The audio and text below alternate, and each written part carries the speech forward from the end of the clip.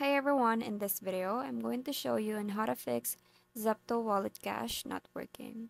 So here's a step-by-step -step guide to troubleshoot and fix issues with your Zepto Wallet Cash not working.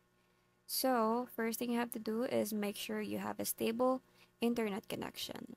Zepto Wallet features often require a strong consistent connection, so make sure to check internet connection.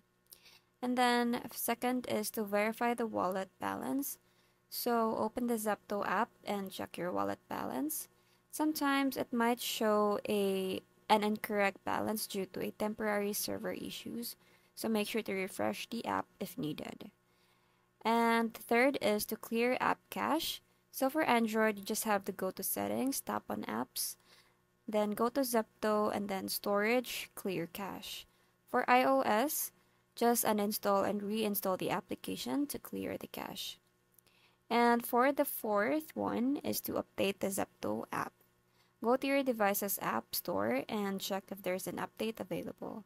Updating the app can often resolve bugs or performance issues. And lastly is to check server status. Sometimes Zepto servers may be down for maintenance or due to technical issues. So you can check Zepto's social media pages or support page to see if there are any announcements about the downtime.